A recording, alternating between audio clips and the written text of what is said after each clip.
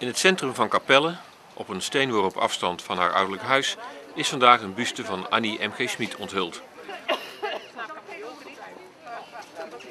Maar het begin van Jip en Janneke, dames en heren, ligt hier. Nou, ik wijs nu al te zeer naar beneden. Het ligt daar.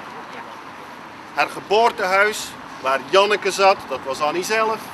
En aan de andere kant de slagerij, waar Jip zat. En er was een heg. En Jip kwam er doorheen. En zo is Annie op het verhaal gekomen van Jip en Janneke. En er zal hier denk ik niemand zijn die het verhaal niet kent.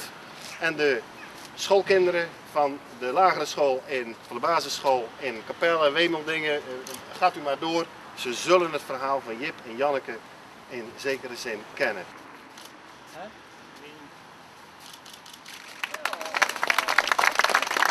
Het beeld is in 1994, een jaar voor haar overlijden, gemaakt door Frank Rozen. Het stond eerder in het Letterkundig Museum in Den Haag. En je ziet ook eh, heel uh, goed aan het beeld dat, uh, dat ze slechtziend is. En nou ja, ik, ik, ik zie ook het, het, um, het ongedurige van haar en het een beetje, onge, ja, hoe moet ik dat zeggen, als een wild kind.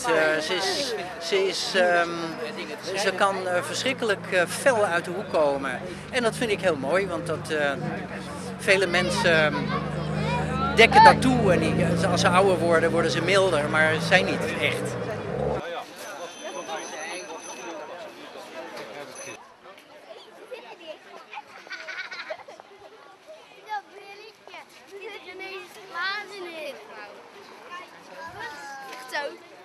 Ja. zit er ineens. Lekker. Vroeger zeiden ze zeker nou, in die glas. Um, Annie, je mag hier uh, lang blijven staan.